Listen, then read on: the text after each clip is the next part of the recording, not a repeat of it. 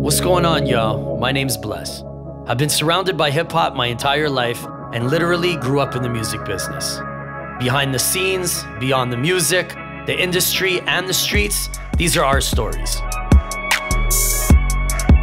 Join me as we explore the culture that defined our generation. This is the moment of truth. Episode 21, Moment of Truth podcast. I'm your boy Bless. Lemme Kno to the left. And today we got the homie Lou Phelps in the building. Big round of applause. Big round of applause.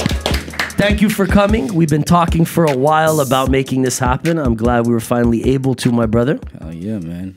It's a pleasure. Pleasure to be here. Thank you for coming. Let's Thank jump right into it. Let's jump right into it. Yeah.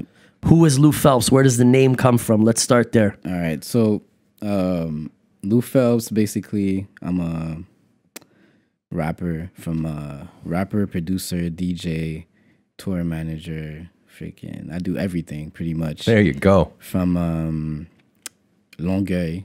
I'm not gonna say Montreal anymore. Longueuil, you know. South South Gotta- Shore, yeah, gotta rep the town. South Bronx.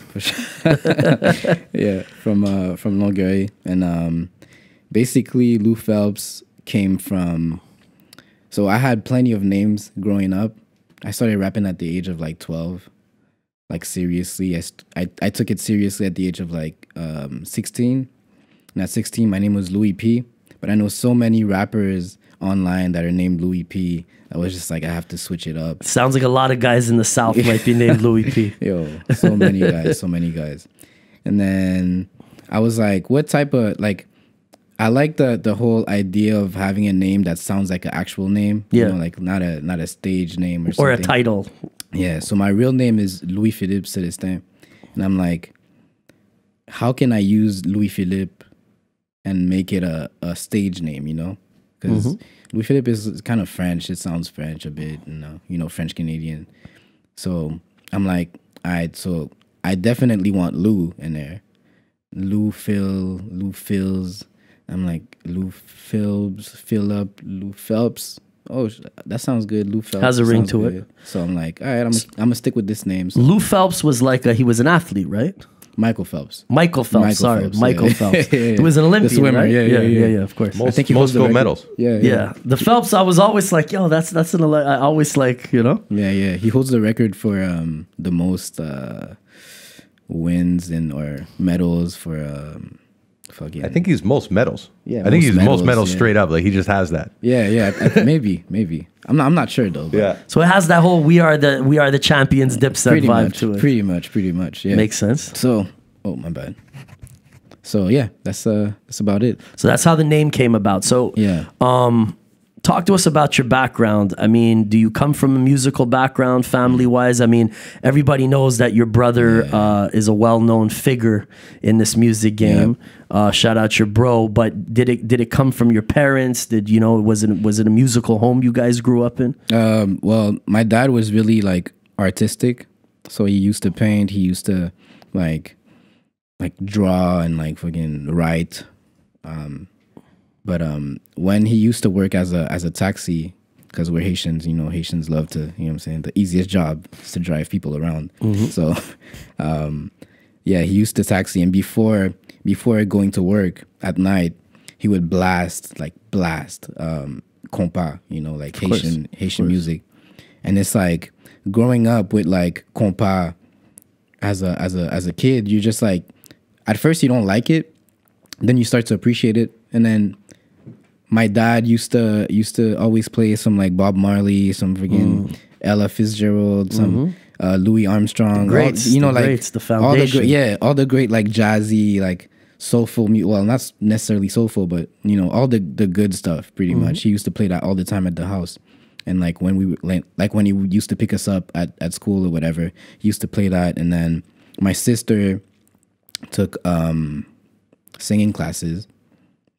My brother and I took um, piano classes, and I took um, trumpet classes. And uh, that's pretty much the family history. Well, actually, I heard recently that my like my grandpa's uh, grandpa's brother on my mom's side is was a well known singer. I don't know I don't know who he is, but apparently he was a well known singer in like in France or something. You gotta So- get on the ancestry.ca and like much. figure Yeah. that one out. That's a good one yeah, to know. Yeah.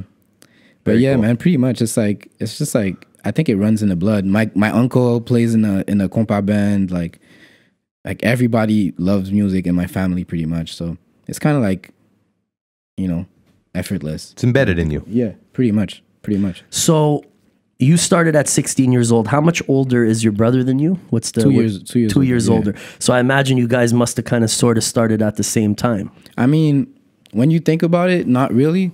Cause I used to rap for fun, really for fun, like not even write words, like literally just like gibber over like um money power respect from like, you know, uh, Classic record. yeah, yeah, yeah, from like Lil Kim or whatever. And then um like 50 Cent, Candy Shop and all that, just like do covers just to get the flow going. I just like the idea of rapping because like my mom didn't necessarily have money at the time and like we couldn't get clothes and I was trying to find an identity, identity and shit. I was like, all right, let me try to let me try this rap thing. And basically I s- basically 50 Cent started it all for me. I was like, all right, I want to be like 50. Yeah, he was the biggest rapper on planet Earth in those Man, I loved him.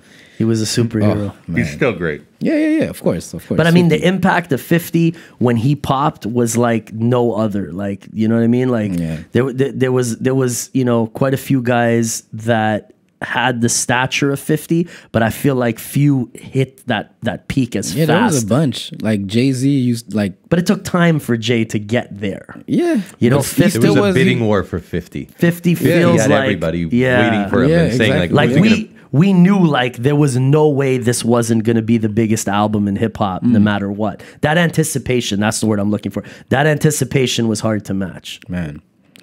Honestly, I'm gonna be honest with y'all. It's Please. like when Get Rich or Die Trying came out, I didn't know anything about 50 Cent. Like my sister put me onto this, and it's like I didn't know. Like the only thing I knew was like Music Plus, you know, like Mm-hmm, that's what I used to watch, and like they used to like showcase 50 Cent all the time. Yeah. or like Jim Jones or like Cam'ron and shit like that. Not even Cam'ron, honestly. Just Jim Jones with the ball and balling yeah. 07 and it's like that's all I know. Like that's all I knew back then, like 50 Cent. So I'm like, the first rap guy that I remember watching on TV was 50 Cent. So it's like, damn, like I love this whole like culture, like the way he dresses, his attitude is like The long he looks like a tees bo- the- yeah, like he looks like a bulletproof boss. vest. Yeah, yeah, the bulletproof vest, the do rag, and all that. The, yo, but see a lot of people don't realize that vest obviously became like a uh, you know a, stylish thing Yeah. that a lot of you know brands and people emulated but at the time 50 had big beef with serious dudes in new york Yeah, yeah, yeah. and he was walking around with the vest underneath his clothes all the time because he, you know he popped so quick that he knew that you know he'd be a great you know probably target Yeah, for somebody target. to come at so then i guess he just figured fuck it i'll just use it to my advantage and put it on Became top of the gear thing. and just rock with but he needed i'm sure he needed those vests when he was I'm doing those sure, early man. performances yeah, yeah. But yeah, man. Um, so yeah 50 was the biggest was the biggest shit on planet earth uh that that that two years i remember the first time i ever heard in the club i was in the club in miami with guru on vacation That's crazy. rip my brother guru god bless him and um we went to some random club in miami we were on vacation Mm. and when we heard that boom boom we just looked at each other and we're like, "Oh my god, this this is gonna be like the biggest record on." Like, and I to this day, wonder- it broke records. I actually like- wonder like how people felt about hearing the instrumental. Because I remember hearing the instrumental, I didn't think it was like that crazy. Because I'm like more of a sample dude, But the like thing was, in the club sonically, the way they mixed that shit, Mm. it just knocked so fucking hard. I mean, me and Guru weren't super into West Coast production either. You know what I mean? We were really into the boom bap shit and you know all the Yeah. typical shit you would think. But when we heard it for the first time, actually in a club. It was exciting. Damn. We knew that it was going to be one of the biggest records in hip hop, and still to this day. I mean, it's yeah, I mean, people still play it till this day. It's like a birthday anthem, pretty Yeah, much. Like, literally. everybody listens to that when when it's their birthday. But yeah, man, like I don't know, man. I feel like 50s beats. It's like, let me ask you a question, man. How do you hmm. feel about? Actually, I'm, I won't ask the question. Please, please, please. How do you feel about like Eminem and like like all this like shady, um, like the shady era? You know, how do you feel about them? How I do feel you like I never connected with Eminem ever in my life. Okay, so He's getting a lot of slack these days. So I'll, I'll, I'll say it like this, and I and I totally agree and understand where you're coming from. I think people need to separate two important factors when it comes to uh, taking in music and making music. Yeah. There are artists who make incredible songs. They make big records. like yeah, yeah. 50 made big songs. And sometimes that doesn't always correlate to being the most wordy or the most super lyrical. I think Eminem is a genius when it comes to penning rhymes, but I mm. agree with you. Not all of his music resonated with me the way Nas did, or the way Gang Starr did, or the way Biggie did, on you know so on and so forth. So I understand when I hear people like you saying M's dope. You got to respect him as a lyricist, Yeah, yeah, but I don't fucking love his music. Yeah, I nah, get it. I feel like I never ever like liked one of his songs. You know what I mean? I would have to say the Eight Mile shit, "Lose Yourself." I fuck with that song. I fuck with the the early Stan stuff. the Stan record, and Don't forget, don't forget, uh, my man's born in '94. So you're coming in. You're coming in at a time. Yeah. But you're you're coming in at a time where like um, Eminem is is not even Eminem yet, but he's he's you're five six years old when he's peaking. Yeah. You know what I mean? When he's on like like the yeah, like the yeah. good what 27 is when he got signed, uh, something like that probably. right? So the only thing you're getting is like after the after the fact. Yeah. You're getting oldies, right? Yeah, yeah, yeah. Well, I mean, I, I, I just think that it depends what brand of hip hop you're into. I don't think anybody debates that Eminem is a lyrical genius. No, But- he's saying he's not feeling it ever, and I can I can understand the same way. I don't I don't feel KRS One ever The only because I wasn't around for it. I feel like the only song of Eminem, like the only verse of Eminem that I could actually remember, is the Forever joint with Drake. His verse, Yeah. I was like, okay, I was impressed. And then, um, well, what about this, Renegade um, with Jay Z? yeah, Renegade. All you know, See, there was points verses, where you were like, but "Oh, he- this but guy's." you- do yeah. you get it? It's like I get it. this, like I, I feel like the beats that he rapped on didn't complement his style, in my opinion. But like, I don't disagree with you. yeah. I don't disagree with you, but I think part of that was the label where they're like, look, if you don't do that slapstick humor, that bam bam bam bam bam Yeah, bam, yeah, if you don't do that, we don't get a guaranteed win. Yeah. So they kind of forced him into that But maybe that was his style too. Maybe he just like rapping on these. I think he. I think he was probably in the studio with Dre. He fell upon this slapstick humor shit Yeah. and it worked and they were taking no risks after that. Like you had to have that Christina, Britney. cro- comical shit as your first single much. because that made him really unique. But I think as as an MC, he has so much more to offer. Mm.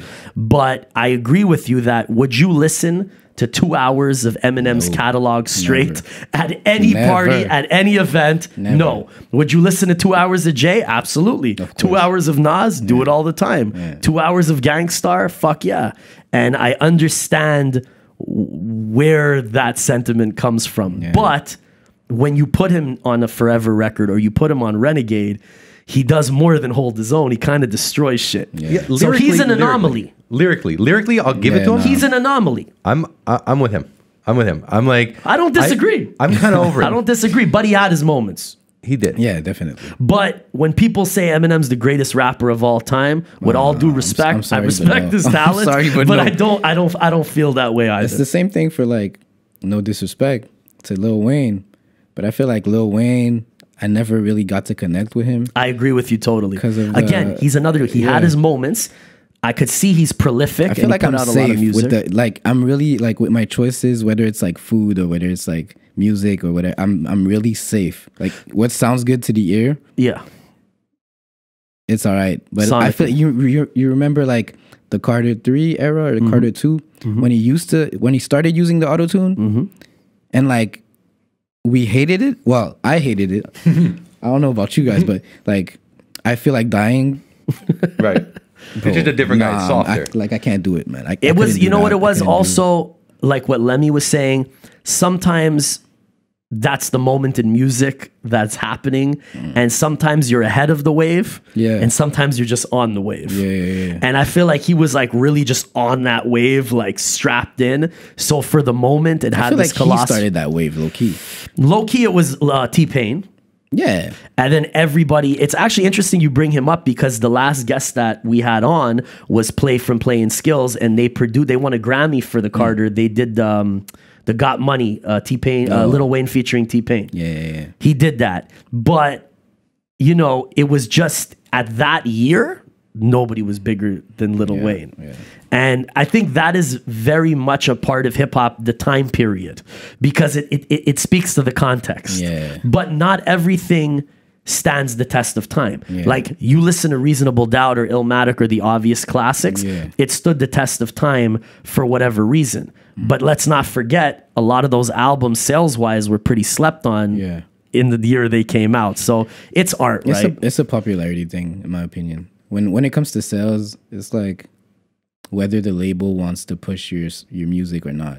True. It's not necessarily because like I feel like um labels have all the power in the world Mm-hmm. to make somebody big. Mm-hmm. Like they'll decide who makes anybody big, right? Well, it depends how much they spend. And if they start spending with no limit, you're going to be up there. And Yeah. when they stop spending, that's why you always say, yo, what happened to this guy? What happened? To Yeah. The label stopped investing. Exactly. Period. Yeah, so I think at at the era that Lil Wayne started getting big, Birdman already had all that money. So he put all of his money into Lil Wayne to make sure that the He put all of Universal's money Yeah, into Little much. Wayne. pretty much. there was a famous story. Um, I had a meeting back in the day with a cat uh, in New York who originally was the one who gave uh, Cash Money their label deal. And he told me that they came in the office and they already had mad paper.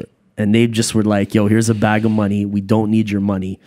And that's how they negotiated their original deal, mm. which was very favorable. Yeah. And then once they did the sales, you know, obviously Universal put all of their resources. Yeah, and when yeah, Universal puts all their resources, I tend to agree with you. It doesn't matter whether it's Wayne's project or Drake's project Yeah. or Nicki Minaj's project, they had all the resources. Exactly. And that that speaks to the massive success of all the young money guys that came after Little Wayne. Yeah, pretty much. Um, let me ask you, who does really resonate and stand out, you know, hip hop wise? Who really inspired you to to spit? Who inspired me to spit? Who was the opposite of an Eminem that you didn't connect with? Who did you really connect with? Um, a lot of people, man. Like I, I would say, the one that got me into what I'm doing, what I was doing when I started, was pretty much MF Doom. Mm, MF Doom was like a god to me. interesting. But it's like now that I look at what I listened to, I'm like, it's MF Doom, but it was a mix of, and people might think I'm crazy for this one, but I really love Big Sean's like wordplay and the way he he uses uh his metaphors and you know? Interesting that you say that. When Big Sean first came out, I was very skeptical. Yeah. And he got better and better and better. Yeah, yeah, And I, that's what I'm saying. and I think I mentioned this to you, Lemme. Mm-hmm. He has a record semi recently, like last year, I think, featuring M, Yeah, yeah, yeah, yeah. where yeah. I felt like he killed M. yeah. And I'm like, wow, Big but Sean. Eminem's verse was I'm, I'm but he- sorry, but his M, verse was amazing, though. Big Sean's verse was crazy. Yeah, yeah, yeah. But Eminem's verse, I don't know, man. It wasn't, it wasn't your cup of tea. Eminem's verse I is won't, never I won't the. flavor. I won't savor. Something like that. Like it's like. Uh, it's not the. I It's mean, not the thing some, anymore. Some some artists need just need to stop at some point. Like even Jay Z. Like Jay is like the the the goal to my like in my opinion. I, I would agree. He's like the greatest of all time. But he has to stop. Like stop doing verses. Start working on other stuff or like producing like. You know, I don't know. Like, start a record label or some. sh- Like, you already have Roc-A-Fella or whatever, Roc Nation. Roc Nation, yeah. But um, I don't know, man. Like focus on that instead of like rapping. Like we don't need another album. Like we don't like. Imagine if Jay would have left with Black Album. Imagine as he claimed he would have been. to. Yeah, he would have Yeah. been like literally like no contest, the best rapper of all time. Now there is contest. Like you know what I mean? Like Mm, I know what you mean. you get what I mean? I know what you mean. It's like kind of, you know, going out on your highest note Yeah. versus, but I mean, I think Jay kind of just does it for sport Yeah, because he much. loves he loves the culture so much. I mean, it's certainly not for the money. Yeah. You know, and it gets to a point where you can't be more successful than 50 in his pinnacle or mm. Jay in his pinnacle or even M in his pinnacle. So why bother? They say, you know, we swam through shit and went through hell to get here.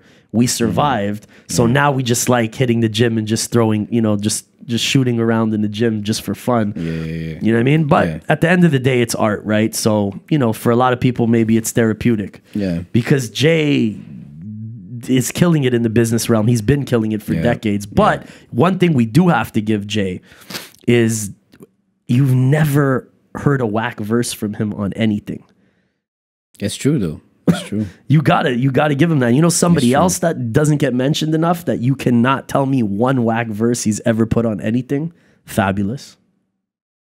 Fab to me It's like needs to be rated higher. Yeah, no, definitely. He's a he's an amazing rapper. It's just like I feel like not.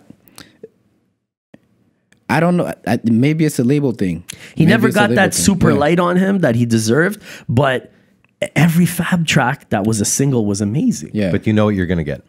You know But he- exactly but- what you're going to get. incredible. Whether That's- it's yeah. whether it's maybe mailed in, it that is. 16 is going to be the same 16 is going to have the same five topics. They're Nah, all sick. bro. They're all sick. maybe that's what it is. Analyze actually. it deeper, man. Yeah? Listen to any time he's on anything. I put him like, with oh, Jadakiss in my top Oh, J- 20. Jadakiss? Top 20 Jay, New York. J- Jada's Jadakiss gotta be like- up there. Yeah, yeah, Jada's gotta be up there. Honestly, Jadakiss in terms of lyricism is like top five to me. You know who else needs to get mentioned more? And this is out of Styles is nice. Mm. Black Thought.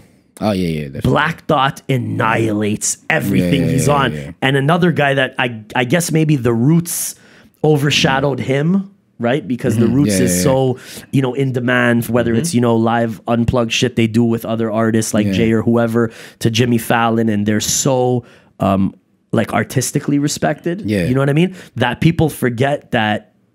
Who the fuck could you put Black Thought on a track with that Black Thought doesn't kill? Like it's unbelievable. Yeah. Did you hear his verse on um, the Benny the Butcher joint? Nah, I didn't. I didn't listen Great. to the Benny the Butcher album yet. There's a Benny Butcher Black Thought record. There's a couple guys on that track. There's a couple more guys on there. I think there's one just them two though. Oh, yeah? the one Okay. that I'm thinking of. I believe so. It's pretty recent. Uh, for everybody listening, go do yourself a favor. Mm. Just put in Benny Butcher featuring Black Thought. Oh my god! You forget that the man's got to be in his uh, mid 40s Yeah. by now, and this guy is really, really, really a beast. Um, so Jay, Jay was inspiring to you. Who else? Jay, MF Doom. uh, MF Doom. Um, Give me some know, obscure man, like- shit that, that that that you drew from. Because I know you Crown, and your Crowns brother for be Kings, deep. Black Thought. I know you guys go deep in the crates. I don't know, man. Um, that inspired me to rap. Or just shit like what do you personally love? Like what do you fuck with? Like what right now, you? I feel like back in the day, it used to be like I used to have like different. Uh, I had a different musical taste than now. Definitely. Hmm. How But, so? What was the evolution? Like I used to listen to Soulja Boy and like you know the the high school Mm-hmm. music, and That could probably help you when it comes to production though. Cause sonically that shit was working on a, Hmm. Whole, Boy? on a whole other level. I guess I, mean, don't know. I mean, I don't worked think him. like I don't think him crazy. I feel that- like that- my favorite producers. If if we were talking about producing, my favorite producers are um, Pharrell, Timbaland, Madlib, um, J Dilla, and um, who else could I like? Probably Kanye back in the day. So I would say you're more of um, your ear is very eclectic. Yeah. You like the more eclectic Yeah, yeah, musical, you know, harmonies and all that shit. Exactly. Great I don't interview. like the. I don't like the the simple shit. Yeah. Like, you remember when Gucci Mane used to be hot in like the two thousands? The Zaytoven shit love. I was like, nah, it's not for me. Yeah. It's too simple. Too simple. Some people I think resi- uh, resonate with the simplistic shit because it's kind of like a purposeful ignorance. And it's something relatable when your that. palate isn't refined. They like the ignorance of it. I like the ignorant lyrics Yeah. over dope musical beats. production. Yeah. Yeah. That's like I'm I'm down to listen to like some uh, some like damn, I don't even know. I don't really listen to ignorant music anymore, but but you could see how a lot of maybe younger cats could, you know, fall in love with hip hop on some ignorant, really watered down shit, and then maybe like grow into understanding like Pharrell and Tim are fucking musical geniuses. Like, Yeah. let's be serious. yeah, Um, great interview you should check. I don't know if you guys saw it. Uh, Pharrell, and Rick Rubin. Yeah, I didn't see it yet. Man, they gonna talk about one. it's interesting sure. because they talk about like sonically envisioning a record. Hmm. and they talk about how they feel like uh, um, a real producer's job is to be like a catalyst, to be like a receiver. And you know the music doesn't belong to them. The chords don't. It's all inspired by God knows what, and they're channeling, and they're channeling and translating it into a record. so the way that they look at it is very three dimensional, It's like a mood thing, pretty much. right? Like I started, like when I started producing, I didn't really understand, and I tried producing. I don't know how many, like years ago, like Yeah. four or five years ago, and I just got into it now when I started smoking weed, hmm. and it's like when I smoke and I make beats, like you close your eyes and you freaking listen to the chords that you're playing, and you're like, you could tell what's right. even if, even though I don't have any music, like I don't know anything about music theory, hmm. but like just the sound of the chords, the mm-hmm. way you play it, has an effect on the way that the, mood mood, of the yeah. So it's more of of a mood thing more than like like okay, I need to do this. I need to, you know when it's like robot like it needs to have a flavor. It needs to have a soul. And when Mm-hmm. when it has a soul, it has a mood. And when it has a mood, that's what gives the the color to the to the production. That's and right. like that's pretty much what I'm doing right now. I'm You're like, tapped in, bro. yeah, man. You're tapped in. That's what it is. weed's, a, weed's a beautiful thing, eh? yeah, you know sure. when you're in the studio you're kind of just taking wild shots in the dark Mm. and then you're you, it connects and you're like okay that's interesting Mm. and that magic is not tangible you just kind of know what you're looking for Mm. Yeah, yeah, yeah. And you're just wild let me you know you're going through thousands of synth sounds Yeah. and then there's just one that note one that's like, that you're "Uh," like, oh, yeah, and you're yeah. like okay it did something to me Yeah, yeah, yeah. and then when the timing is right it come becomes something special or sometimes it just doesn't Yeah, true. you know Have you ever tried producing or um, well, yeah, I, I, I, co-produce most of my stuff with my partner. right. Shout out Mano Sound Machine. You know, we do everything from A to Z together. You know, um, you know, obviously he physically does it with his hands, but I sit with him through the entire process. We come up with ideas and concepts together. We go back and forth, and then mm. I write once we're comfortable with where the music is. So Tight. I've been for the last ten years involved in every single aspect of making anything we made. Mm. So you know, but you know, I'm lucky enough to have a partner in production that understands my vision and I understand his. Yeah, yeah, So by sometimes I annoy him because by the time I'm telling him to do it, he's like, "Don't even say it. I'm already doing it." like he's like literally like, "Shut up. I'm already doing it." And I'm like, "All right, all right, you got it. You got it." You know? I feel like you and your bro probably have a similar relationship. Uh, yeah. I mean like K the way K does his beats, I don't even know how he does it anymore. But it's Speak like to me a little bit about that. Um, uh, was it your brother uh, who inspired you to move into the production, or was that just a natural progression for you? um honestly the the person who started like made me want to produce my own beats where it was like uh Tyler, Tyler the creator. I listened to the Igor album and I was like, yo, like, no, I have to start. I have to, you know. And it's like I could do it myself. Only like I just need to put the time into it. And if I put my time into it, everything's gonna be all right. Hell yeah. But bro, Tyler, Tyler's album was like eye opening for me. Like It was a Like- big one. yeah, but K, the way K produced, every time K produced something for me, it was always like him making a batch of beats that both of us love mm-hmm. because we have like sort of like the same ear when it comes to music. Mm-hmm. And like he makes the beats and then he shows me what I would sound good on. What he would see you on. Yeah, pretty much. And then that's how it was. It's just like a batch of beats. But I haven't had beats from K from like so long, like like at least two years. Really? Yeah, yeah, yeah. Like the last project I was working on was like in 2017, 2018. And like that was the last time I got beats from him. And it's still beat from from uh still beats from 2017. That's what's crazy.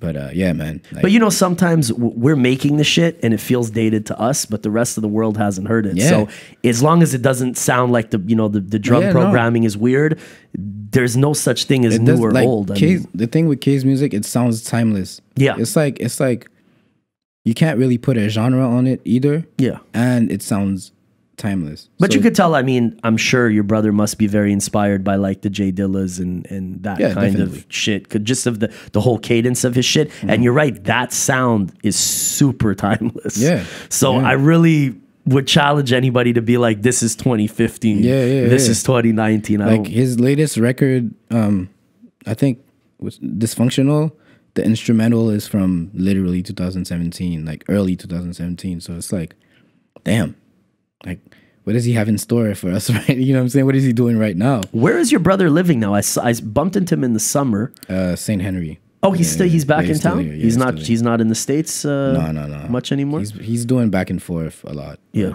he's still in uh, montreal That's the best move, though. Is you go when they pay you. Yeah, Why are you pretty going to the states? Otherwise, like if there's a bag, you go. yeah You come Well, back. It depends, you know, where you're at in your. I don't want to. I don't want to it's go to the states ever It unless. depends. Yeah, it, it actually depends where you're at in your life. Actually, it's, Right. it's true because it's like K doesn't necessarily need to, need to make contacts. You know, like course. if you want to make contacts, you have to get. It's not like he needs to hang out in LA 24 7 to be invited to sessions. Yeah, you know, yeah, he's yeah. in demand Yeah. and people will contact him. Plus, technology of the last, you know, seven years, Yeah, everybody's on ship a beat, social you know?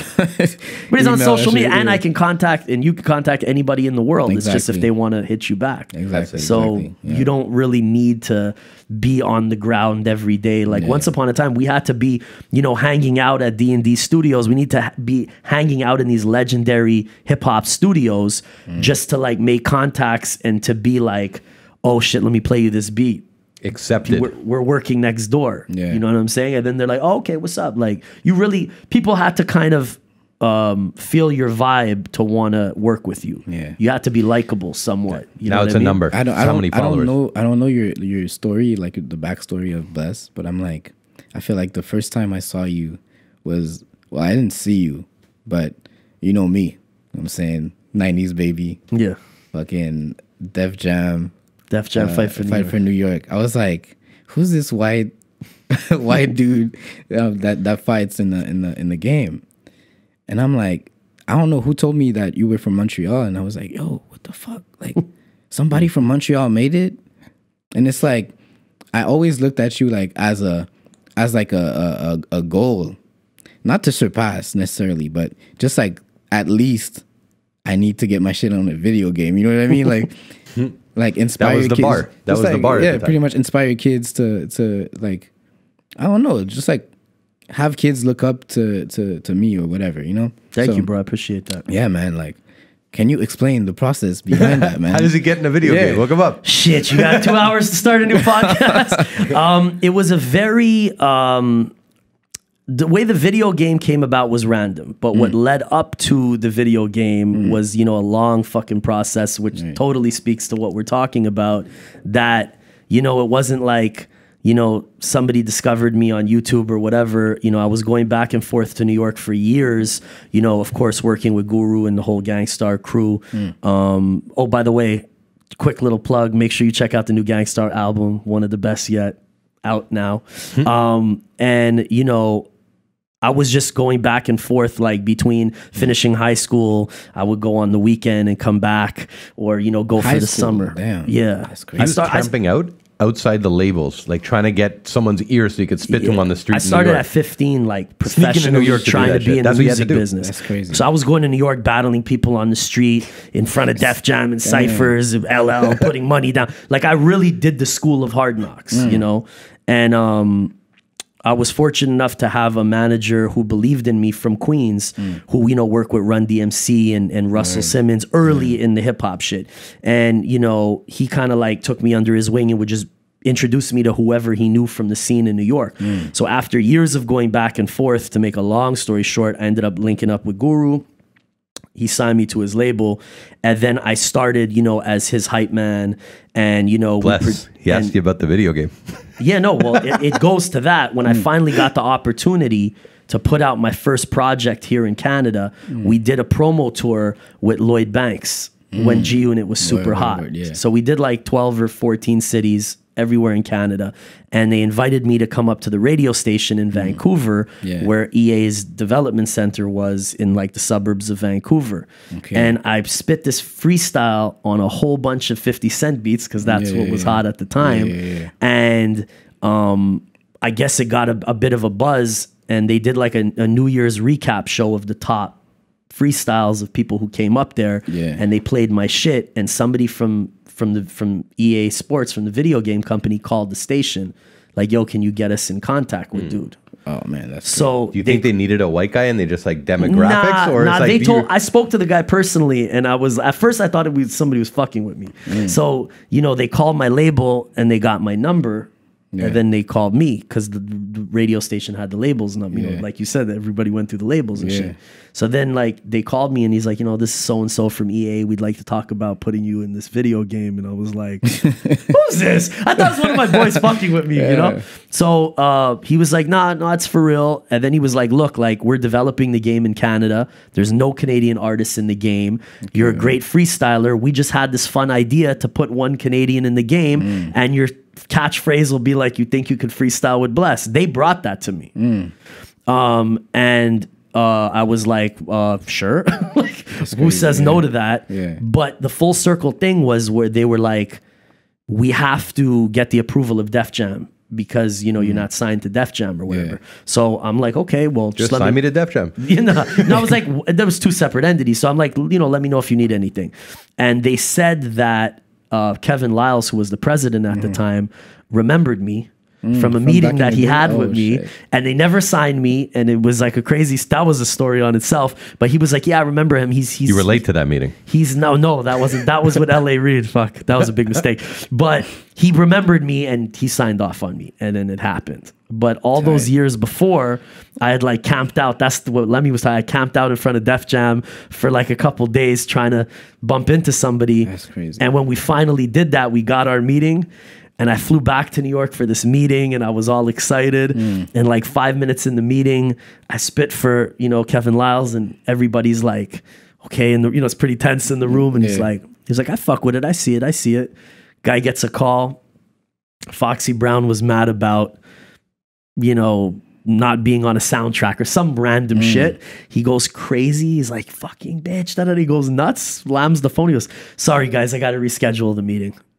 Damn. And just like that, my dream of being signed to Def Jam was gone. And of course, we never got a meeting. So I was so hurt. I was so like crushed. Yeah. Uh, you know, after that meeting, and then like five years later, the video game opportunity happened because that didn't happen. That's crazy, man. So full circle. And like I said, it's a very long story, but definitely the Def Jam shit was just one of those opportunities that I mean, you're you're you're in the business and I'm sure you've seen Hmm. your brother go through a gazillion things at this point. Yeah. There's so many opportunities that almost happen that Yeah. could happen that you have to teach yourself not to get excited about anything you know yeah, that's how I I am. I'm just like, because nine out of ten times it doesn't happen. And the Def Jam game was just one of those things that ended up happening. And I, I, I I was supposed to be in a uh, an episode. I had a, a YouTube show back in the day Mm. that was very popular. We were supposed to go to Usain Bolt's restaurants. He's got a chain Mm. in Jamaica and film with him in his kitchens.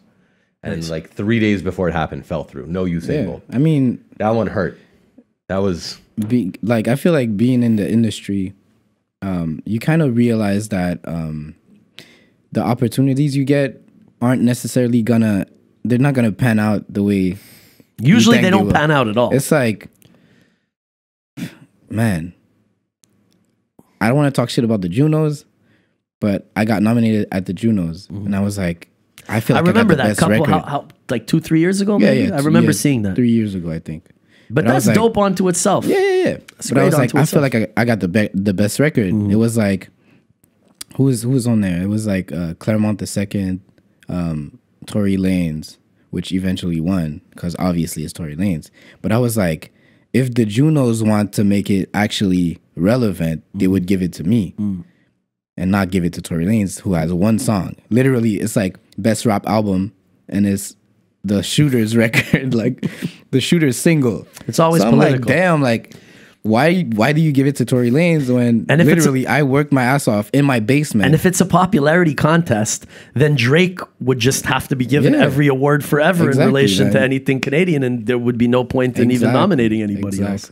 That's what I'm saying. It's Nobody's like- going to overshadow that. But, that's you know the what? problem It- with Canadian the, the Canadian uh, media. It's like I can't deal with them. when I They're started too, uh, dropping records, and this gentleman that I'm going to mention is a good friend of mine, and I love him, and he's a Mm. great dude, and he's always been supportive. But every year, Cardinal, Cardinal, Cardinal, Yeah. every year they give it to Cardi because he's in Toronto. You know, he's, Yeah, he's, like, great friends with everybody on the. Yeah, committee. he's sure. the token guy to give it to. yeah, of course. You know what I mean? Of course, of course. At, and you know, he was always super supportive. Like we used to do press runs together. To Cardi though. I love Yeah, Cardi. yeah, big but ups. I mean, I'm sure he would even agree with me at that point. It was like an exercise in futility, you know, you know, like Yeah, man. but at the end of the day, this game is about pushing through all that shit. yeah, You know what I mean? But that's what I'm saying. It's like having all of these like expectations Mm. fall in the water. You're just like not excited about anything anymore. Like Yep. even even with my girlfriend, like you know, like she like she tells me like, oh, like we're gonna do this. Aren't you excited? I'm like, no. I'm like, you know, we You're never like, know no, what I got happen. robbed for my Juno. I'm never gonna feel joy again. it's like it's like I'm not excited about anything anymore. Like Yeah. because I've I've seen so many things and I've and I've I know how it works. So it's like somebody that doesn't know what actually happens behind the scenes has an opportunity that I get. They go crazy. They go nuts. Sure. For example, I performed Coachella this year. And it was like everybody was, "Oh my god, you you're performing Coachella! It's crazy shit, Montreal, blah blah." With your brother or separate? no, no, just me. Good for you. Yeah, but it, it was like I That's wasn't exciting, excited. though. That's No, exciting, though. I wasn't. You should be excited. You know what, man? I got over there. There was literally about fifty people at the at the set, and it's like a huge ass stage Mm-hmm. And like a huge But ass. you're, you're doing it at like two in the afternoon. It's, Yeah, it's the first two- time you're doing this. You start yeah. at the bottom of the You're paying your card. dues. That's it. Yeah, I- I understand yeah, you're of not course, of course. But I'm like, I wasn't excited. It's like I've seen K perform, fucking Australia, fucking South Africa, all all these places. Luke, can I ask you a question? Did you give them a good performance? You gave them 110 when you left the I stage. gave, sure I gave you him, did. I gave him You a good performance. so then yeah. that's all that matters. That's all that matters. That's all you can same do. Time, I'm like, I'm sitting over here, and I'm like, nobody's there. You know what I mean? Everybody's somewhere else. So Oh, bro. the way I look at it, it's thousand like, times. it's like I'm happy that I'm that I'm on there because it's it's good for my name. That's what it is. But at the same time, it's like, bro, hmm. I would have rather you know stayed home or some shit. You know, sure. It'll it's come. true though. It'll It's come. true. It'll, it like, takes time, man. Yeah, of course, of course. Right? But The- that's the game, man. I mean, bro, we've done, you know, crazy performances like uh, we did a couple years ago just before Prodigy passed. You know, I was a special guest when Mobb Deep went to Ottawa or whatever, Mm. and it was a small club, and they were producing all their, uh, they were uh, performing all their classes. People were Yeah. losing their mind. We rocked five minutes before them. The crowd went crazy. Yeah. That was just a beautiful hip hop moment. I had thirty of my boys on stage. It was a movie. Yeah. And then there's the shows where you go all the way there, and there's like six people standing there Yeah. looking at you like you're a loser, Yeah. and you're like, "Oh, this is humiliating." That's I what I'm. That's to, what I'm saying. That's I still have saying. to like jump around and be like, "Yo, what's up, motherfuckers? You love Go this hip hop shit." up. Let's go. Yeah, I'm like, yo. And then you know what's ironic though? So you give it 110% because you fucking drove all the way to the city for nothing. Yeah. You still give it 110%. Hey, yo, it'd be the small little venue where, yo, people will buy more, 20 people will buy more Yeah. merch than a, than a packed house because yeah, people yeah. really appreciate that. And sometimes there's like a, a quote that I saw, um, you know, perform to, I don't know what it is exactly, but let's say give it 110% because you never know who's watching. Yeah. right. And just because it's a small audience, you never know. Yeah, I went on tour with um, FKJ, who's like not at all like my type of music. I didn't know he didn't like he didn't make my type of music. I thought it was some like groovy shit, but it's like for like old moms and their kids type of music. Yeah. and I'm here. I'm like, they announced it like they announced the tour like months ago, and they didn't have a support supporting act. And two weeks before the tour started, they were like, "All right, Lou, we got this opportunity. You could go on tour." And I'm like, "Oh, this is my big break. Let's go." So I'm like, I gotta fucking kill it. Mm-hmm. I go, I go to see a guy in Montreal. He does me like he he makes a mask for me mm-hmm. because I'm like I'm gonna I'm gonna perform this, Doom shit. this angry ass Yeah. this angry ass energetic music and then I'm gonna switch up my vibe and take my mask off, and it's gonna be like the big reveal, and everybody's gonna be crazy, right? Everybody's idea. gonna go crazy. Yeah. Yo, first show Vancouver. I get on stage, and I see, and I see like it's a it's a full house, Soccer moms. bro. Soccer moms, kids on on the dad's shoulders and shit like that. Uh-oh. And I'm like, yeah, put your fucking hands up, and I'm fucking going crazy. And And, to shit. begin with, there's no black people in Vancouver. yeah, exactly. So, So it's, it's like, extra soccer mom. out. yeah, yeah. so I'm like, damn. And I'm like just staring at the crowd and I'm like, put your hands up. Like, let's go. Like, Now you sound like bless. yeah. Some motherfuckers. I'm like, keep going, keep Trying going. to thug the crowd. Turn up, turn up. Y'all like this trap shit? Yeah, I like this rap shit. Nobody's like vibing at all until I switch up the whole vibe of Yeah. the show and they're like, oh, okay, he does take his mask off. Mm. The second show was in Vancouver also. Mm-hmm. And I'm like, all right, let me try the mask again, see if it works. I try it again. I go on stage. I hear people laugh. They're- It's like, That's not what dang. So I'm like, all right, you know. So for the rest of the tour, I didn't put the mask on. I didn't put my wardrobe, whatever. Just came on as a regular ass artist that raps or whatever, and then switched up my whole track list, put all the smooth shit, and then it worked out. It but worked. it's like, no matter what you expect, I feel like you never get what you expect Never. when you think like no matter what it is. but don't you feel like that's life in general? Yeah, pretty much. You know, peop successful people are people who become good at adapting quickly. Mm, Yeah, yeah, You know, resilience. Yeah, yeah, And yeah. in this business, you better be a resilient motherfucker. yeah. I'm still, I'm still like, till this day, like everybody, everybody's like, oh my god, like lose doing this, lose doing that, and it's just like an image. Like literally, I'm still a regular guy. Well, that's You important. know that what you I'm can stay humble, like right? a regular have to. dude and fucking chilling. You know? I know? mean, at the end of the day, you know, we do this, you know, whether it's the podcast or or, or mm. producing or making records because you love the shit. Yeah. Because the shit really makes you feel uh, like you have something to look forward to in life. and you know what's bad about it? gift. It's like when you get lost in the idea, like you get a, a small amount of attention, and you think you're like, oh man, I'm doing like I'm doing good, and I have to conform myself to what what works. You know, Yeah. you don't want to try new shit because that already worked. Mm-hmm. But then people get lost in your in your like, um, they get lost in the in the. How how can I say this like? You know how like rappers get boring, Mm-hmm. like as you were saying about Fabolous. By not switching up their always- formula. Yeah, yeah. They, they don't switch up their formula. They don't try new shit. Mm-hmm.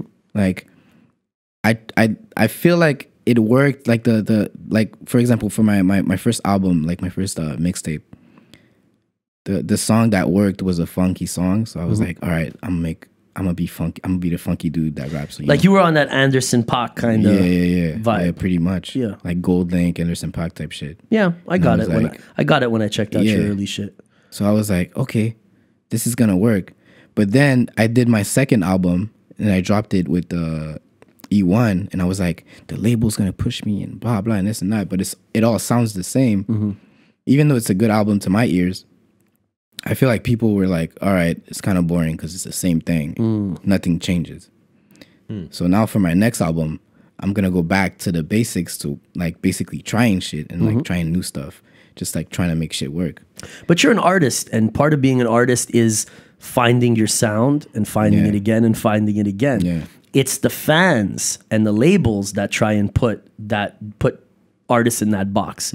Like this guy's a gangster rapper. Yeah. This guy's a conscious rapper. This guy only does boom bap. this guy, yeah. you know what I mean? Like a lot of people just even for me in, in my own career, like people always thought because of my affiliations to Guru and Gang Starr Hmm. that they're always gonna hear me on some premier alchemist kind of shit. And don't get it wrong, I love that shit. We all do. Yeah. I come from that school, but I don't only rap on boom bap tracks with scratch hooks. Like, Mm. yeah, yeah. you know, obviously, you know what I mean? Any good. It was up to you, you would though. Uh, no. That's what you want to no, do. Come on. No, no, you don't no, want to no. spit a 16 the blessed way? yeah, no, but you know, I just believe as an artist, you could still be lyrical hmm. and take chances. You know, part of the reason people love Biggie so much is because Puff forced him to rap on R and B samples, mm-hmm. and it was something really about that. refreshing. He didn't want to do that; he wanted to rap on Premier beats. Mm-hmm. But if Premier had done all of Biggie's shit, maybe it wouldn't have had the cultural impact that it did. Yeah. Not to take no away way. from the amazing moments that he had with Preem. It's just there's it's a sauce. And Yeah. as a, as a, as a, as a chef, you're always improvising with your ingredients to make different shit. So if you just told a fucking master chef you made a great cheeseburger once, don't fucking make anything but a cheeseburger for the rest of your career, the guy would be like, "Is this a joke?" Yeah. But as an artist, oh, you had one hit where you talk some gangster shit. We Yeah, better not hear you do yeah. nothing but that. Yeah.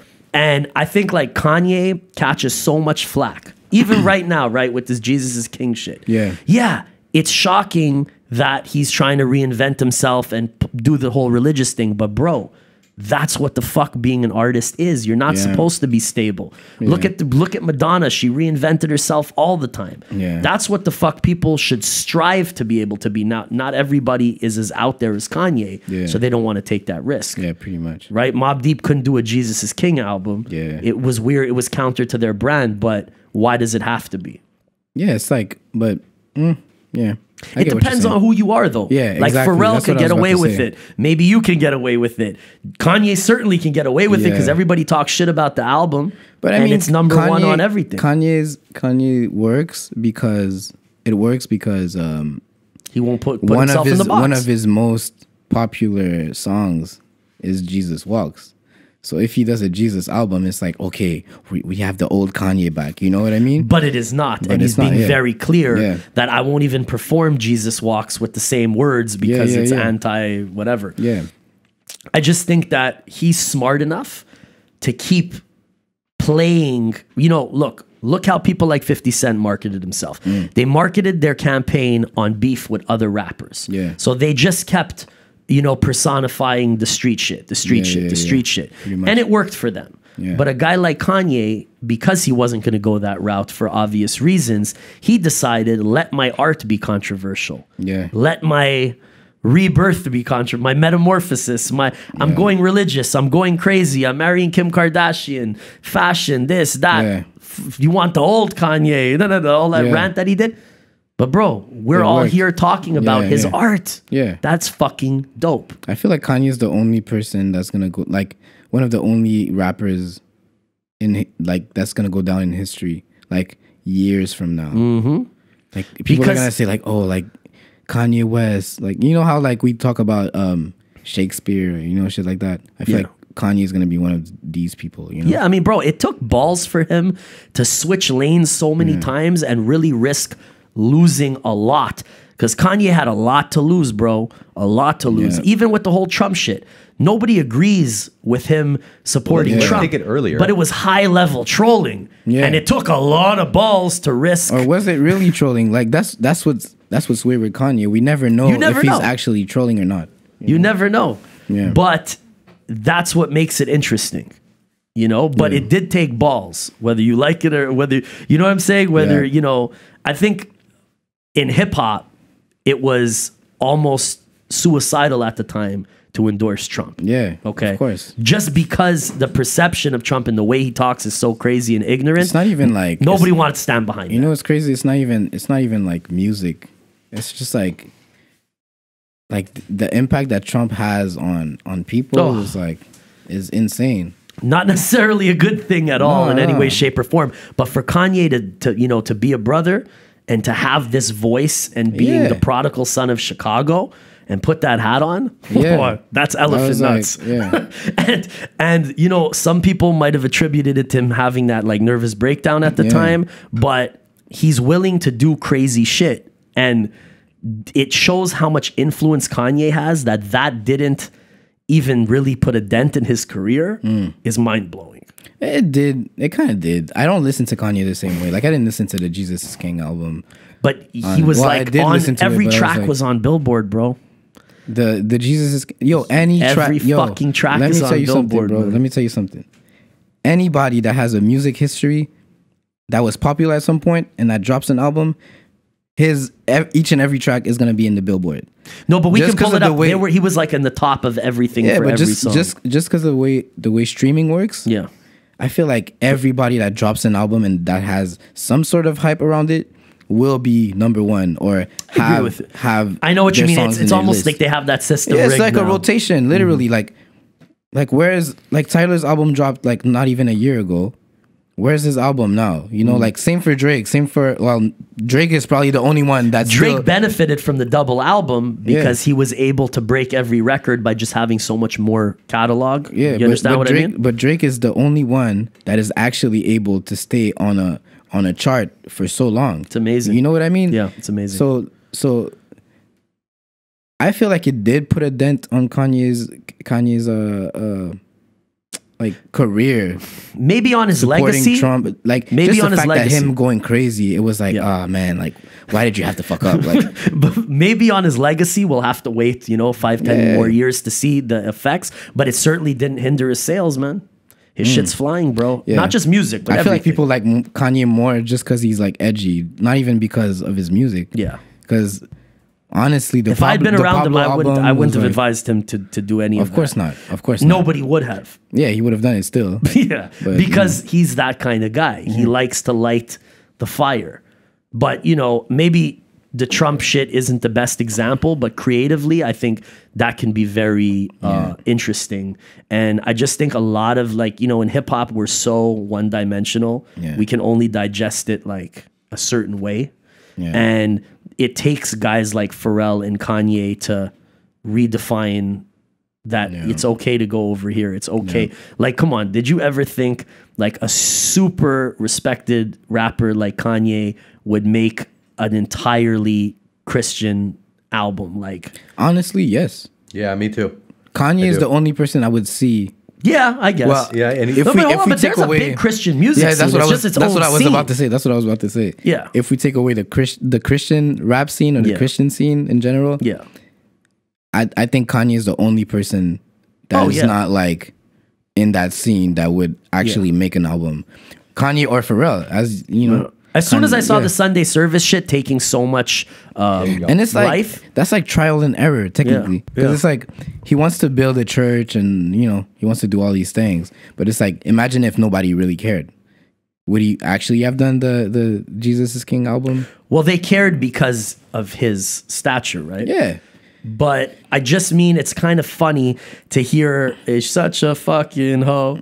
I love yeah it. and then I'm your a, next single I'm a sick fuck. I like my dick sucked. I like like to Yeah. to I will I'm never gonna curse in my rhymes. That's yeah, what he said. but it's like do we actually believe him No, but isn't it better? isn't it better to troll like that as an artist than to like incite violence and street beefs and perpetuate shit? yeah but that's what i was all saying the about time that that's what i nobody was saying needs. about artists in general It's interesting. It's an interesting marketing. yeah whether it's like paint uh, like paintings or or fucking scripts or movies or etc no matter what type of art you do when you're at that level you could do whatever you want mm-hmm. and people have to perceive it the way they want. Mm-hmm. It's like banksy. Banksy basically i feel like his art is like a mockery. Mm-hmm. He recently dropped a, a, a website where anybody could buy a banksy piece for um, 500 bucks. Wow. right? Anybody. Wow. but the thing is, you have to write your name. You have to write the reason, and, and you have to write the reason why you want the piece. Hmm. And it's like, why does art matter? Hmm. And it's like you could, you know what I mean? It's like a mockery when you think about it. It's like, and then he he he put a bar on why, and he says, "Does art matter?" Hmm. So you're like thinking, like, is he is he gonna troll us or is he? You know what I mean? Yeah. He's there to make you question things. Yeah. That's what it is. But that's what art is, pretty much. It's like You took the words out always make mouth. people question what you know what's next. You know, like and who's gonna decide? Who's gonna actually decide um, who who gets the the pieces or not? Is a stand up comedian. You know what I mean? A stand up comedian reads the answers and he's like, all right, this guy deserves it, and then he does a background check. You know what I mean? They Yeah. do a background check to make sure that you're not super rich or wealthy. You know what I mean? Yeah, Like, yeah. Or you're not some art collector yeah, exactly. who was like, Yeah, that's what I'm saying. It's like some like when you're at that level where you don't need like where, where your your popularity is like no matter what you do you can You know actually? Yeah. have fun with guys, it. guys, I've been in a position where I had a show and we always used to dictate the tempo. And then it became a time where we didn't dictate the tempo anymore and we kind of followed suit. And that's when you never get it back. And you got to switch your whole flow up. You got to do something completely different because mm. if you're at that level, that Kanye level where you dictate what they want, yeah you can do whatever the fuck you want. yeah right? Pretty much. The- I, I had a famous cooking show, and we were the cooking show. We told everyone what they were going to do, and everyone else tried to do. And then slowly but surely, you can't be on top forever. It, it is what it is. Yeah. But as an artist, I don't believe it should be about being on top forever. It should be about constantly reinventing yourself Right. and making important art. So that's important, is the re- Impactful Yeah, art. yeah, pretty much. Because you might have a certain brand of hip hop that speaks to you more and vice versa, but real art should make you think or at least invoke some sort of an emotion. And you know what's crazy? Is that the artist doesn't think about that when it, when they make their art. Hmm. You know, it's you, you- get what I mean. Of course. When It's you overthink it, it has to it be up. natural. It Oh, has yeah. to be like, it's like you have to be gifted. Yeah. Take, like you think Salvador Dali thought about this is gonna be super impactful for me. You No, know what I mean? he's just whatever. trying shit. Yeah, he was like, all and right. the people interpret what's He was like, I'm doing whatever the fuck I want, and if you like it, you like it. If you don't, you don't. But there's no other way to make real art. yeah, Or else it's not art. Yeah. You said it before with the smoke a joint and like make the keys Exactly. dance. You know, that's exactly what it is. Bro, I'm I'm in the studio four nights a week of my life for the last decade, and that's all I do is just play around with, with with you know different chords with my partner, and sometimes I'll say a joke and we'd be drinking and you say a joke, so oh that's a punchline. Yeah. And sometimes you just dumb out and you don't think about anything, and the entire song basically comes like one big freestyle. Yeah, yeah, then you go back and you refine it and you clean it up. yeah. I, I want to ask you, like, what's your writing process? Like, you go in the studio and then you just. It's it's so weird. I feel like I'm interviewing you. Oh, it's okay. It's a conversation. It's a conversation. It's not an interview. It's a conversation. But it's Um, like you know, you know, like the way I do it is basically, I'm like, I sit down, I listen to the beat, and then I, I close my eyes, hmm. and then the first line that pops up, actually, I listen to the beat, I take out my phone, and then I gibber over it, just to get the flow of it, and then yeah, switch like I, I switch the the gibber for words, yeah. and I have the when I have the first line, everything comes like the first line I feel like is the most. You know who does that? You know who? who does that? Who? Timbaland. Timbaland does that religiously. I was in the studio with his artist back in the day, DOE. They had that um, record with Keri Hilson. They won a Grammy for it. Um, um, baby girl, da, da, da, Yeah, da, da, da, whatever. So he had showed me that that is the process that Timbaland taught him, Mm-hmm. where you basically you get the cadence and the melody, and then you say gibberish, and then you fill it out. Yeah, exactly. Um, Michael Jackson. They have those like old uh, Yeah. thriller tapes. Yeah. Where it's like studio sessions. You see him do that. but I find that's really effective for me personally when it comes to like writing hooks Hmm. or more, um, uh, you know, uh, melodic music. You know, like if I'm trying to write records for other people or whatever, Yeah. um, or just something more eclectic. But when it comes to some like rhyming, rhyming like bars, yeah. um, once upon a time when I was a kid, every time I wanted to, like in my in my heart, I want to out rap Big L and Big Pun and Nas. Yeah. Like I want to like I don't I don't want to waste one inch of that verse. Okay, It's the same for me. It was the same for me at Yeah. some point. I was like, I need to make the um, maximum impact. yeah, like I have to listen to it and, I'm, and I have to be like, God damn, like I fucking killed it. You know what I mean? But I had to force myself out of that box because it's not always the best thing for the record. And as, as I progressed, I started to try and challenge myself to go into the booth with maybe, like you said, like one or two lines, like a, just a, a starting point, hmm. and reverse engineer, Yeah. where I forced myself to go, you know, four lines. You know, and Yeah, then yeah. stop and analyze it and go another four. And then I got better and better at Yeah. not. So I never really was writing. I either had the whole shit in my mind completely created that I'd gone over so many times that I'm just gonna do it in one take, Word. or completely unprepared, which was terrifying when I started doing it because I was so technical and I had to like break myself out of that mold Yeah. of always having to be so technical.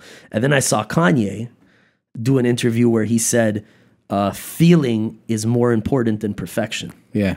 Of course. you know and i started forcing myself out of that box where every verse has to be Yeah, yeah, yeah. tight tight tight tight tight Yeah.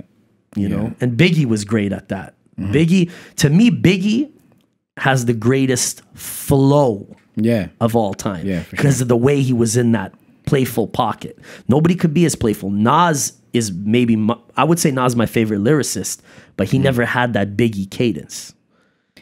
You know what I'm saying? And Yeah. Jay was an incredible in between of the both. Yeah. You know what I mean? And that's what made these guys exceptional. Yeah. Can You I can I can I uh, say something that no one ever says? And I'd love I'd like your both your opinions on it.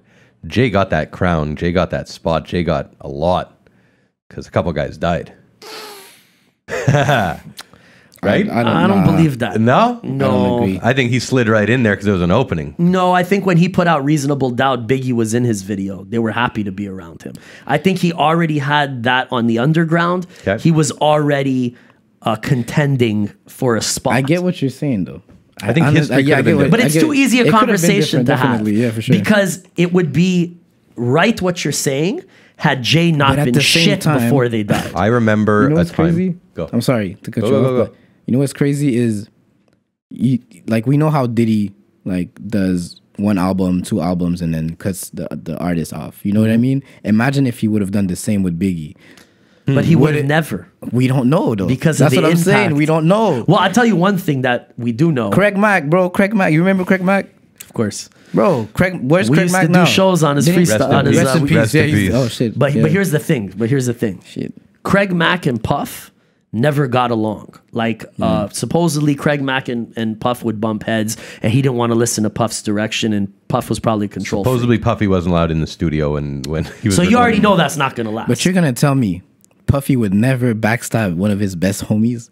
You're gonna tell me. probably. Of course he would. That's what I'm I mean, saying. like, listen, listen. you expect him to do that. I, I I wasn't I wasn't you know present to any of these things, and I don't know any of these guys personally. But I would just speak on my experience in the music business. Hmm. I've seen a lot of people doing what's convenient for them and what works for them. That's what I'm saying. So I would agree with you in that respect. But Big, from what I heard, like I saw a lot of, you know, different uh, conflicting stories about it, kind of already wanted to start his own label and move away from Bad Boy.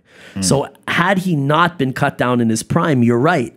Maybe he would have left Puff. Yeah. But I don't think it was the latter. I don't think Puff wanted him to leave. Of- So- maybe not at that time, but imagine if his what is it third record, fourth record, third?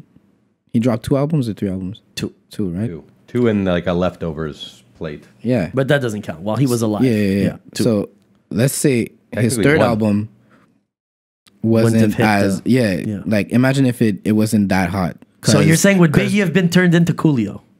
would You it have I been mean? Like, Coolio? maybe, maybe, maybe. Or would he have Maybe- turned yeah. turned into what DMX where DMX is at or whatever? Who knows? Yeah, like yeah, DMX is a perfect example. Okay, who, Who knows? knows? Who knows? But one thing that we can say is uh, Jay Z's business acumen Hmm. was eons past Biggie's business acumen. Biggie was an artist who was super talented, who received a lot of direction from his label and had very little control over his business. Jay, a completely different beast. Yeah. You know, he was But that's why I'm saying. To, I to said it. I said yeah, it. yeah. And, and I'll, I'll tell you straight up. I remember there being names like Cormega and Ah, Nas and and AZ, and there was just a lot of names in that in that Yeah. same vein. And Jay Z, yes, his business he, was. he went and grabbed that ring as being it. the king of New York.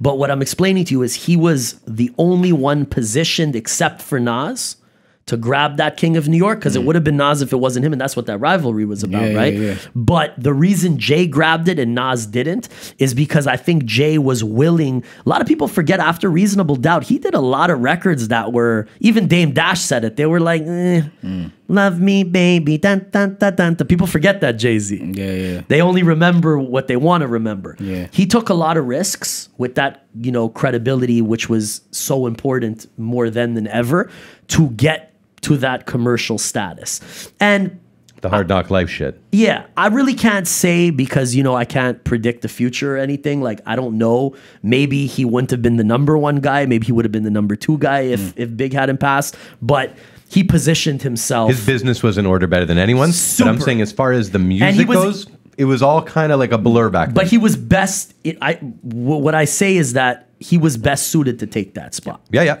yeah, yeah. And that's that's what happens in this business. You know All what right, I let me ask you this question now. Do we actually think Hmm. Tupac is up there? Oh man, That's the real question. a question. lot of people hate my answer because I met Pac I feel when like I I'm gonna agree with you. Uh, yeah, I feel like I feel like we have similar musical tastes. Yeah. I met Pac when I was 11 years old. He was the first superstar I ever met, and he was so nice to me. Mm. And he was always in my mind because like I had that great uh, encounter, you know, Yeah. experience with him. Um, but I would agree with you, man. When Biggie was out and Hove was out and Nas was out, I wasn't checking for Pac in that way. And it, this is pre East Coast West Coast beef. Yeah. Because obviously I was an ignorant East Coast, East New York, Brooklyn, boom bap, diehard hip hop Mm. Yeah. head. I wore motherfucking Air Max 95s and 95 with army pants and champion hoodies. You know, like that's Mm. What we were on. I Militant hip hop shit. and and um I think Pac was ahead of his time. And I think he was an amazing poet. And I think that his music resonates so much to this day because of his writing style. Hmm. But at the time, it definitely flew over my head because I wanted to hear that big L. I wanted that pun. Yeah, I didn't, yeah. you know what I There's mean? something about there's something about New York, like New York music, yeah. that like resonates so much with me for some reason. Maybe it's the funk, the funkiness of the flow. I don't know, man. I don't know. It's a different animal. I felt like a lot of the production that Pac picked was very minimal Yeah. and very scaled down and not as evolved as what was making me excited out of New Like York. Tupac is a great rapper, Oh, yeah. great rapper. And an incredible, But it's and, like and, and imagine poet. if imagine if um you see how we we look at Nipsey. Are we gonna look at Nipsey the same way we look at Pac Very similar in my twenty opinion. years from It's a now? good You know what question. I mean, I That's a think very question. similar. I, I think that think? they're both. you think Nipsey's going to have the on. impact long term on hip hop culture that Pac had? I think they were revolutionary. I think they were more about themselves and the men that they were. Than I believe the music. Nipsey deserves it, but I don't know if he will get it. Okay. I, I think Simply because of the massive catalog that Pac had before he passed away. yeah. And because his entire career was surrounded by massive Okay. drama I and agreed, controversy. Yeah, but true. but Nipsey was his hood. Pac, Oh, yeah, yeah, yeah, Pac no doubt. lived Yeah. all over No the world doubt, and, no and doubt. touched a lot of people. Nipsey was so Maybe- cemented in his hood in his in his area that like the stuff he was doing in his community is just as big as anything to Listen, Yeah. I think I think that it's it's you know a horrible horrible tragedy that he got cut down in his prime, and I think he would have grown to was- just be bigger and bigger, and might have reached a Pac status, but he got cut down so early. it's sad, that man. It's knows? honestly, uh, it's unbelievable. It was really shocking yeah. that all these years later we didn't learn our lesson from what happened to Big and Pac. But I feel For- like Nipsey is like the not the last person from the hood that would get shot. You know what I mean? Like I Certainly, like maybe the 6ix9ine last who deserved it. I feel like six nine would have got Yeah. shot first. You know, Isn't I it mean? Like, unbelievable that shit played out the way it did with six nine? when Yeah. he was fucking begging for But it. he's- when And a- he's out, he's and a brother like Nipsey, fuck, it's it's disgusting. That's what I'm saying. When he's out, he's like six nine is. You know, it's gonna be hard for him, man. It's gonna be hard. I for kind of feel bad for him at the same. It's like because I have a kind heart. I'm not like Yeah. not like on some like no, Poor man, six- he's a snitch or whatever. You know what I'm saying? poor Nah. six nine. First of all, You're a better person than I am. To me, it wasn't 'Cause I about wanna him see being, what happens. I to wanna me, see it the wasn't about opera. him being a snitch. Anybody who's ever spent any time in that world knew that if the pressure gets put on six nine, he will snitch. Yeah, of course, Everybody anticipated, of course. but He snitched. Be like when he had that case with the girl. Like what a snitch right away. You know what I'm saying? What was shocking to me is how irresponsible he was. Yeah. Knowing that if he gets put in a bad situation, he won't handle it properly. Mm. Why would you put fuel on the fire? Why would you beg people who are being good to you to go and jump off the roof? That's like you come and say, "Hey, bro."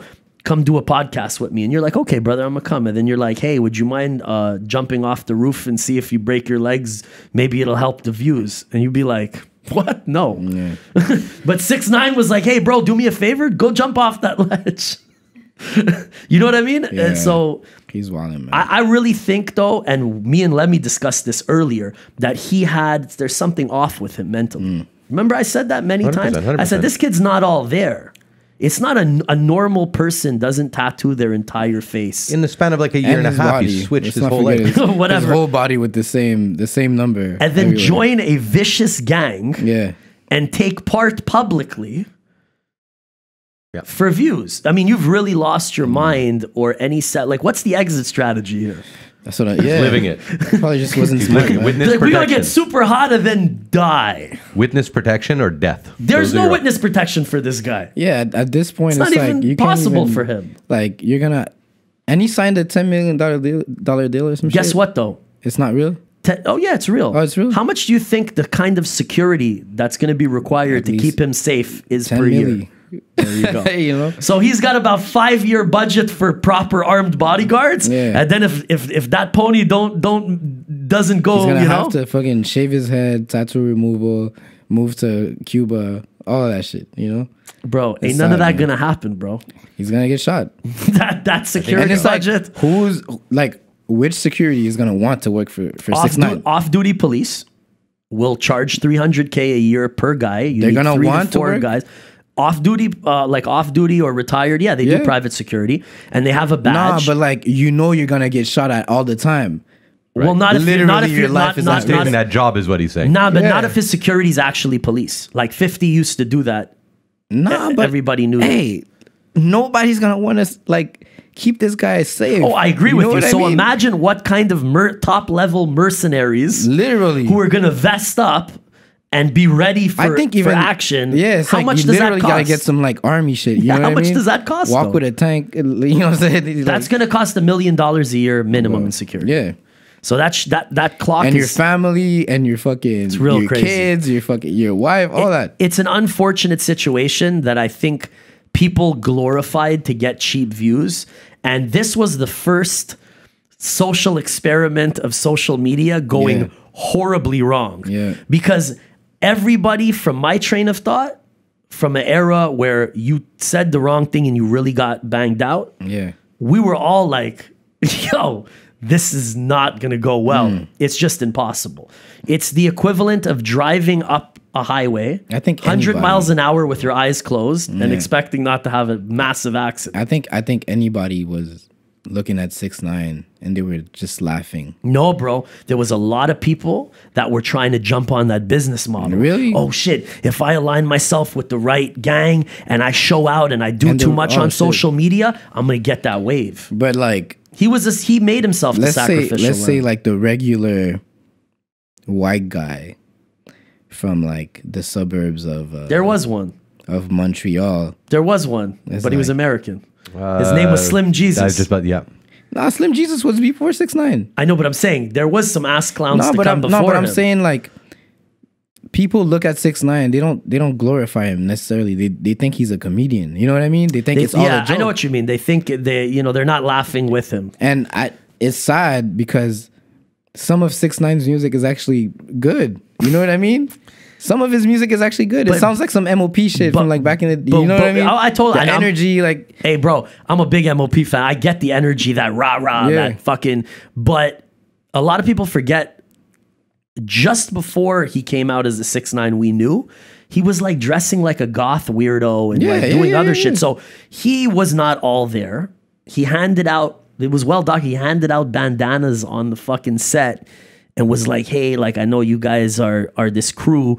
Do you want to be in this video?" Yeah. And then it went viral, and everybody thought it was the greatest situation. Like he thought he had a cheat code, but they warned him at Hot 97. They warned him, Fat Joe. A lot of people warned him, like, "Yo."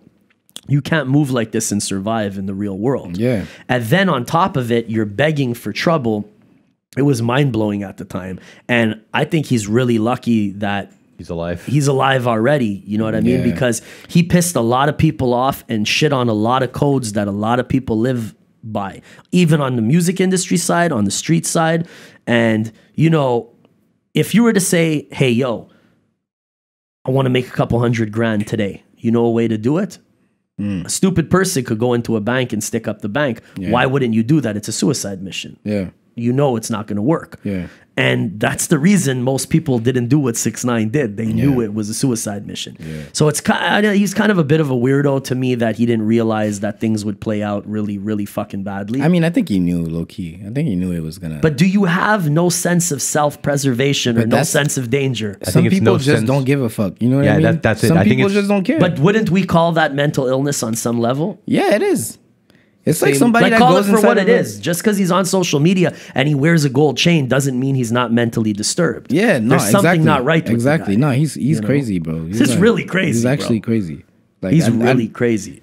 you remember that um Breakfast Club interview? Like you could tell, like he's not all there. No. Anyways, And I felt like it was very irresponsible for a lot of people to fuel that fire. But at the same time, there was people like Ebro who I saw, Mm. like Angie Martin. I saw a few interviews where people were trying to kick game to him and be like, yo, like, come off the ledge. yeah, but it's like he's at the top of the game. You know what I'm saying? Like doing what it, what he does. Nobody told him to do otherwise. Yeah. Now, when he's big and he's making millions, some some radio host is gonna tell him like, nah, like stop doing that. You're gonna get in trouble, whatever. I get they it. care. And then, Well, the fire was what I mean? already blazing, right? So it's like it's already done. Like he, that's why he's popular anyway. Like if he mm. would have made regular music, Nah, never. Nobody would have ever, Ever. put him on a platform. You know? ever. But you know, people have two different kind of goals. If you look at hip hop as a lick, as a quick hustle mm. that you just want to get in and get out, that's a whole different thing than from what, you know, my perspective of what I want to do. You know what I mean? Yeah. I've never been interested in making a clown of myself to make a couple dollars off of music because to me this shit is spiritual. This is my religion. Yeah. You know what I mean? You wouldn't spit on God or on your religion for a couple bucks. Yeah, I would mean, never do that to I'm hip-hop. pretty sure he doesn't know anything about Probably. music, Anything. Probably in not. general. You know? Anything about Anything, yeah. So if his goal was that, then he Maybe did that's alright. what. Maybe that he wanted Then to be you know what I mean? Like- it's like maybe he wanted to be famous. Like Yeah. you know how like um, Magnotta, like the the fucking. What was his goal behind killing that fucking the, the Asian dude? mental illness. meant nah i mean the goal was to be famous but the, the mental moment. illness got in the way obviously but it's, his goal was to be famous 100%. so like people will do anything to be famous you know what i mean Isn't that the saddest and It then, is. social and comment? then That's you add saying. no value to life. He actually doesn't care about your life or anyone Yeah, around he him. wants he, ju- all he wants to do But is guess be what, famous. guys? None of that would happen if they're not mentally ill. Fine. Because a Fine. normal person is not willing to do all that for anything. it's true It's because true. they understand how insane it is, you Yeah. know? And that speaks to a broader topic, which maybe all the social media is shifting people Yeah. with anxiety and depression into going overboard. yeah You know what I mean? It's like There dangling a, That's a good- steak in front of a pit bull. You want this? You want this? Go go go do this and film yourself. You want I mean, it's fucked up, but who ends up doing those things? Impressionable people who are who are younger, really impressionable people that don't come from a, a solid background. Yeah. You look at uh, Bregoli, Daniel Daniel Bregoli, bad, bad baby. Like Yeah. that's sad. Oh, yeah, that's yeah, sad yeah. to me. I mean, I I, I- I watch it and I laugh and I watch I like poke at the monkey in the zoo kind of thing. But it's wrong. It's like But everybody's poking at the monkey. Yeah, it's wrong. Mm. And is that what our is that what pop culture is becoming? Just like chewing people up and spitting much. them out and watch them That's crash what it and burn is. online? that's really what it is Yeah. and then there's like the the sane people like it's entertainment you know But too high a price to pay sometimes. yeah And we have to figure out as a culture where that line is where I, you're you know like what? I think it's a personal balance that you need to figure out for yourself how much shit you can take at, on a daily basis. Of course. I unfollowed every stripper on Instagram recently. I felt great about it. It was an important move. Did you find I God know. like I wake up in the morning. I'm a happier person without seeing that much ass from the strip club the night before. I'm a better person because of it. You should stop jerking off altogether. It had nothing to you, do with you might off, become a famous seeing. boxer. But do you know boxers don't have sex or jerk off before a fight? Of course, of course. Yeah, You should try that. I'm you're not probably preparing for a fight. much. I'm just saying I want to be a Let me. I person. understand your point is you're jerking off too much. so back to. I'm just joking. So back to you, bro. Um, when you said road manager, that hat that you play as a road manager, was that for your brother's projects or for other? for for my brother pretty much So when your brother first started really popping, you would travel with him a lot. Talk Yeah, to me so I- about I some of was- those experiences. I was at school and like my mom well K K was on tour and then my mom was like, yo, and you'll never hear a, a Haitian mom say that ever. She'll be like she was uh she, she said K needs help. You need to go help him. You could quit school if you want. And I'm like, wow.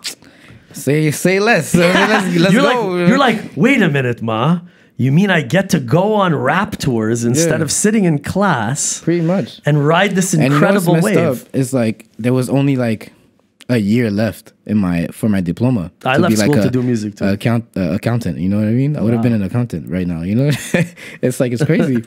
But then But that's the path. It's, you were supposed to go then. yeah, She saw yeah, it. Yeah, yeah, yeah. Not well. So talk to tell me some of some of the crazier stories. Honestly, Some uh, some things that stuck out to you. Just a great moment, a crazy moment. Honestly, man, there wasn't any crazy moments because K is very, like, Chill. very mellow. Like he doesn't do anything. He doesn't want to go out. Doesn't want to. One of one of the things I've done with K was probably go to like uh the craziest thing. Well, not crazy, but it's like, yeah, it's whatever. But um, I went to like a Oscar after party because he was DJing over there. Dope. Like seeing all these like celebrities and all these actors and you know Drake was there, like uh, Jimmy Iovine, again, everybody was there. Like and and the actress that won um, best uh, best female actress that year came up to me and she started talking to me like about nothing, you know, like just talking about just talking, you know. And I was like, I didn't know who she was. And then somebody came up to me and she was like, "Do you know who that is?" And I'm like, "Nah." And you're like, "Oh my god, she won the fucking, she won the award." And Who was it? You still He don't doesn't know even who know it that is? movie? Um, I, He still I- doesn't know I, who I it saw the movie. I saw. I don't know her name. Now we know your tr- I your story's true. I saw the movie. No, that's great. And, and the you name know what? I, I don't know the name, but it's the the movie's called um, Three Billboards at uh, Ebbing, some like Missouri, some shit like that. But it's amazing movie, amazing actress. I didn't know who she was. She came up to me, like started talking. I was like, okay, like you know, cool. And then So that must have really motivated and inspired you to really like be like, yo, I got to put my all into this music and make sure I It's like- continue yeah. down this path. But that was It's like years inspiring. ago, right? That was like two or three years ago. Mm-hmm. And I feel like these moments kind of kind of blur Mm. your your your focus. Mm-hmm. Because it's like, okay, what do I like? What's the formula to be famous right now? You know what I mean? Mm. Mm. Yeah. And like, you focus on what's actually popping right now instead Mm. of like trying to innovate and trying to make something that you love. You know what I mean? That could be a couple years from now before people actually catch on. Yeah. Sure. So and I'm like- unfortunately, the the path to success and notoriety isn't always paved with having the best music. Yeah. As we can see with all of these conversations. Exactly. Sometimes it's, you know, you got to have a little circus going on around your name and then just feed them some music. Yeah, that's what I was thinking. Like, I, I was like, at some point, I was literally thinking, like, should I do a scandal? Should I try to like, I have to get my social media followers up and all. You know, that's Yeah. what that was the the the motive. But I'm like, you're getting away from what you actually like, That's right. and I started, got into a depression. All of that, like, you know what I mean? Like, oh, bro, I know what you everything- mean, Like bro. everything falling. I know what you mean where you where you wake up and you feel like, damn, the the magnitude of how heavy what I'm trying to lift up, you just want to go back to sleep. Yeah. You don't want to chase a hundred people. just want to lay in bed, Yeah. watch TV, fucking watch series, and you shit. put a lot of pressure on yourself because that's your baby. yeah, and then you're like, You don't want to like, neglect your baby. You feel like a fucking idiot. You and know? you know the thing with me is like I go to the studio like once every every month, I would say. I have a I have a like a home studio, but it's like I want I want the best quality for sure. Mm-hmm. But I go to the studio once every month and I'm like, damn, like, is this why I'm not getting big? Is this why you know? Sometimes, in my opinion, bro, it's just timing. Yeah. Sometimes it's just timing. Sometimes you're ahead of your time, and sometimes it clicks. But it plays with your head. Like the, these Big goals time. that you have play with your head. So like I'm I'm staring at I'm I'm watching like Kendrick Lamar and I'm watching Kendrick Lamar is like my favorite rapper of all time. Mm-hmm. But Kendrick Lamar, J Cole, all JID, all these rappers that I've seen push the envelope personally, creatively. like personally do their thing. Yeah. And I'm like, damn, like how the how the hell did they get there? You know? Hmm. And I'm like, okay, well, maybe they just stuck to what they like and they did things that they wanted to do and shit like They that. know? did, but there was a little bit of luck involved in the timing. Yeah. You know what I mean? That, uh, you know, Dre took an interest in Kendrick because Kendrick was a great artist before uh, Dre put put that light on him. Yeah. But it took for that, you know, that that that thing to click for all of us to be able to discover him. Speaking of, you know, how they got there, um, talk to me a little a little bit about, you know, a lot of people always wonder how your brother got to where he is. Mm. Um, w- uh, tell us a little bit about you know his story from your perspective, being you know his younger brother, being so close. How did it happen for you know Mm. It's a, like- a kid from Longueuil, suburb of Montreal? For those who aren't from Montreal, um, get to be at a point where he is now. What was his journey like? What was his path like? It's like he said fuck everything except music. You know what I mean? That's fuck what it school, takes. fuck uh eating, fuck uh going out, fuck all of it that. Music. He gave in his his uh 10,000 10,000 hours, is that what it is? Yeah. 10,000 yeah, so he gave in that that Early, this time, up yeah. front. Literally at the age of like I feel like 8 18 he was 18, I was 16 and we, we we used to take fake IDs to go like I used to take his ID to go to go like to the clubs and see him perform because like my mom wouldn't let him go without me. And it's like I would take his ID, go with his ID, and he had the beard, so like it didn't matter. Like they wouldn't they wouldn't card him or whatever. So like man, like I feel like maybe the the the it's weird, man. When I think about it, it's really weird how how it happened. Facebook, bro. Facebook. That's how it happened. So K K started making beats, putting him on um fucking Bandcamp or whatever.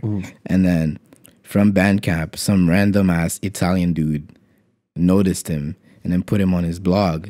He got big in Italy. Well, not big, but let's say like a couple thousand followers or whatever. In It's a good buzz for yeah, that time, for sure. Yeah. And then that blog, um, and then ear ear uh Earmilk? Is that is that oh anyways, one of these blogs, like one of these like s- like boom bap, soulful, like What Tudo boys. Fuck. 2010. Okay.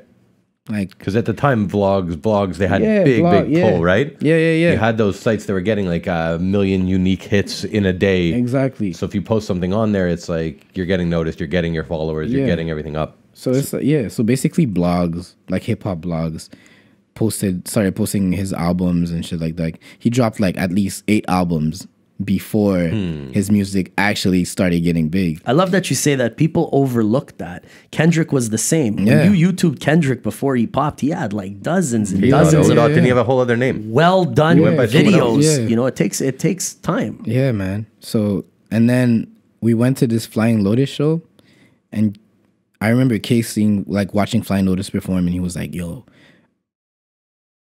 this is this is crazy," and like Flying Lotus is really like electronic. I've heard the name. right? So it's like electronic type of music. And Kay was really into that Madlib sounding shit, and he's like, "What if I blend both?" Hmm. So he made he made the 2010 remix. was the year of electro and all of that fusion being at the pinnacle. Yep. So he made a remix, the the Janet Jackson remix hmm. on on SoundCloud. He put it on, like he did it that night, and then he posted it the same night. He woke up the next day. So imagine if you like you post a track at fucking five a.m. That we just demoed tonight. Yeah, and then you woke up. You wake up at at at um let's say two, two p.m. and then it's at fifty thousand plays. You know what I mean? So it's like this song blew up, and then it keeps going. Like everybody loves this song, and then he, he's like, "All right, cool. Like we got this this part done. I don't know what to do now." Now he had a momentum going Yeah. online. And then he did um he did um the Teedra Moses remix, and then from the Teedra Moses remix, he did a a, a album, but like an instrumental album, and nobody really like knows this one. It's like Mary making music. It's like really like dancey and like I don't know. It's hard to explain. But then, oh, actually, not. It's not even that one. It's it's um Kaytra Todo. It's an EP, five songs, and I remember at the time, and that's we go back to what you were saying about the expectations. Apparently, Drake heard the album and he was like, "Yo, I need beats from K. I need beats from K." And then K said it in the interview, and because he said Drake wanted some beats in the interview, Didn't Drake was like, "All right, peace, I'm out." You know, what I'm saying? so it's like expectations, and then you talk too much, and then you know, yeah. So, anyways, Kaytra Todo, and then from Kaytra Todo, there was this one track. Um, fuck, I forgot the name. The first track, I believe, and then he went to for a show in Halifax. that show in Halifax, he met his manager, which is my manager now too, uh, Will, and then um, basically Will was like, "Oh, like you don't have any manager? Like you don't have a manager? Like, all right, you want me to help you out? Yeah, sure." And then Will had contacts from um, uh, fucking people in Europe or some shit, and then they did a, a tour in Europe, and that's what literally blew him up. The tour in Europe, he came back home, did another tour with Jerome LOL and um, somebody else, uh, Groundislava. Came back. The homecoming show in Montreal was so packed. I So remember. packed. Oversold I remember. oversold the Belmont, and like forever, like t- till this day, they, they still talk about this this show. It's like it was years ago, like eight years ago or some shit. You know what I mean? Mhm. And then, fuck, what happened then? And then just tour, tour, tour for like five years straight. So him touring as a DJ really helped.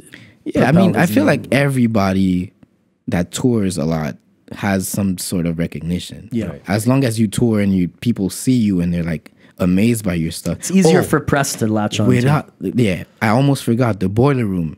Boiler Room. The boiler room in Montreal is literally what made Kate's career, in my opinion. Wow. Maybe he might say something else because he did a boiler room in LA before, or maybe after. But his boiler room in Montreal, till this day, people send me snaps like Snapchats or or uh, like Instagram, whatever, about me in the video, like next to K, vibing and shit. And it's like the atmosphere of Montreal and the music that K's playing is like crazy to them. They're like, "Yo, what the fuck?" Like, like they want to party like like us, pretty mm-hmm. much. They want to party like our scene, and that's what basically made K big. They're like, when we go see K, it's gonna be the same type of vibe. Mm-hmm, mm-hmm. So So he started really getting on a roll and getting booked crazy at that point. yeah, right after the boiler room, everybody was like asking for for for K. And what was the breakthrough move uh, business wise? Because I remember there was some rumors I heard about him working with Rick Rubin. Is that Oh, yeah, possible? yeah, yeah, yeah, yeah. How did the, how did all of that come about? Was that just the next natural step, or Um, so the Rick Rubin thing basically happened after he dropped his album. Um, was it after or before? I think before. By the way, Right Rick before. Rubin's my number one, like most like uh high uh what's the word I'm looking for? Like Highest like, regard. Regard, yeah. As far Oh, as celebrities go, he's number one by far. Really? So uh, he's a music? He's another not even close. genius. Yeah. He's a legend. He's yeah, a he's number one, two, three, four, and five. Like that's the he's, guy. He's like he's like legit. I went I went there too with K when uh when I'm I'm the one who took the picture of, Wow. of him and Rick. I was like, oh shit. You like, That's see, that's I his, how you not talk about that on I, the hey, podcast. man, I, I don't know. I, I forgot about it, man. I forgot. Thank about God we got here. So what was it like, you know, being a young artist, right? Yeah. growing up, you know, looking up to this culture that we all did and being in fucking Rick Rubin's home studio. Like that that's a moment. you were in his house, It's like not the, it's not his it's not his house. He has Okay. I think he has two property properties. He has one in Malibu and then one uh, somewhere else. but the one with the like old school truck and so all the, that. the, the was that where you truck the truck is Bob Dylan's tour bus that he flipped into a studio. it's crazy. wild. Fucking and Rick then Rubin. there's like there's a house on that property, and then the house is basically turned into a studio. Okay. But there's like beds and shit. Gotcha. So it's not his actual house. Yeah, no. And I was like too shy to even ask anything, so I was like standing back, and like my, my manager was like, "Don't don't say anything, just like It's a lot to soak up. yeah." So I was like, "All right, well, I'm just gonna sit down and stare at the ocean. Like literally, you have the view of the ocean. Like it's like paradise Yeah, technically." it's great. But um, yeah, man, Rick Rubin's like never wearing shoes, always in shorts and white tee, long ass beard, listening to music, closing his eyes, and just like not even on beat, just like like a fucking Nodding off. it's like a guru, just straight up like, yeah. oh man, it's crazy. But- What a larger than life guy ever. character. yeah, Yeah. Coolest guy ever. yeah, man, he's he's dope, man. I, I love him, man. So with uh with your brother and Rick Rubin, what happened after that? Did they work on some, some Nah, he's some he signed a together? publishing deal. He signed a publishing deal with Rick Rubin. Um, it's called Pulse, Pulse Records, I think, or some shit. And then, um, from from there, um, basically, when K goes to LA, he has studio for free, pretty much. I think. That's dope. I, I think that's what it is, but That's dope. I'm not. I'm really not sure about the Rick Rubin thing. But um, I guess that's what it is. And wh- where is he at now? What is he working on? Is there another K? project coming from K? Hey man, soon. I think, Can't leak it out yet. on- yeah, I, I think he showed it to me, and it's coming out really soon. Like Dope. you could see, like if you go on his Instagram, you know, you'll get hints. All right. But uh, yeah, All right. And the obvious question what's next for Mr. Lou Phelps? Man. When are we going to hear another project from you? I don't know, man. I don't know. I'm just like working on a bunch of shit right now. I got I got beats from Madlib recently, so I'm Congrats. like, Huge. I'm just like soaking it up, just like rapping. changer. I'm like going back to like the New York, like rapping on samples with no drums type shit. You know what I mean? Like The, the, minimal shit. yeah, The Griselda shit. yeah, yeah, yeah. That that like the the raw, the raw shit. I want to go back to that. I want to go back to the roots. Cause maybe some like you know I feel like sometimes, um, artists don't like want to do things just to please the crowd. But I'm like, I need to do shit that I love, 100%. and this is the type of shit that I love. I listen to the the the raw shit. So I felt like that many times Hmm. in my career where it's like if I'm not excited about it, I don't even I can't even put this this energy into it. Hmm. Yeah. I need to feel like this one is special. yeah, And even if it's not, you know, uh exactly lined up, you know, it might not be trap or it might not be electro in 2010 or Hmm. whatever, but you know, you still gotta it, it's gotta excite you first. Yeah, yeah, pretty much, pretty much. So yeah, man, I'm just working on an album. I think I'm gonna drop an EP soon with my brother um, Tony Stone, one of my homies from Planet Giza. I don't know if you heard of him. They're really You told me about him. I think you did uh you Super you, tight. you played Yeah, with him this summer, yeah. yeah, they're really tight, like super dope guys. You think you're gonna link with your brother for this project, or maybe? Yeah, I got I got like the one I'm dropping with Tony Stone. Definitely, it's like I have three songs produced. Well, it's all produced by K actually, Nice. and then Kaytranada and Madlib. That's a nice lineup. Yeah. The next album though, it's gonna be me producing what like I'm gonna produce on my shit and then probably some K beats. I got Kiefer on it. Kiefer's like one of the homies from uh, Stone's Throw. Nice. Fuck. Who else, man? Madlib probably. I'm saying Madlib, but maybe I shouldn't even say it honestly. But yeah, man, it's like a bunch of people, man. You got the beats already. I got the beats. Can't take them back now. He just he just needs to approve it, but you know, That's we'll funny. we'll figure it out. You know what I'm saying? We'll figure it out. Well, but, definitely, man. Thank you for coming through. Your uh, story is definitely more than inspiring, my brother. You know yeah, what I man. mean? Good for you. Great talk, by the way. Thank you Continued for coming through. success to you and your bro and you guys' whole team. We would love to have you back anytime. And uh, me and you will definitely build on some other shit. Oh, yeah. Your boy Bless, Lemme Kno. The Moment of Truth podcast, Lou Phelps, episode 21. Thank you for tuning in. Peace.